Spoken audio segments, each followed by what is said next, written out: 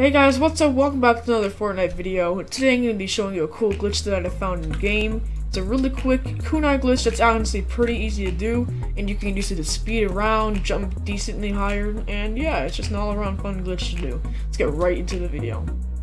Alright guys, so this is what the glitch looks like. As you can see, I'm jumping and I can kunai, but not fully kunai, so it doesn't take up the whole kunai cooldown. So I can use it and just hurl myself around pretty fast. You can do it right before you jump to get a nice speed boost, and you can go a little bit higher, which is nice sometimes. If you do it incorrectly, you will just use normal kunai.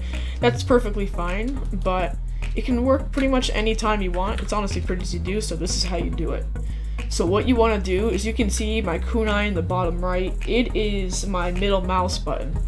When I press that, it does the kunai. So what I want to, so what I do is my scroll wheel obviously scrolls down. So I scroll down.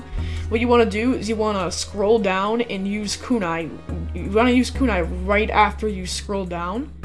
So you switch your weapon right before you use kunai, as you can see here. See how I switched my weapon before I use it? You can do that. See? It's really cool, really simple, and you can do it in midair. If you do it right after you speed boost, you can go faster and go up a little, as you can see there. This is normal double jump. This is kunai double jump. As you can see there.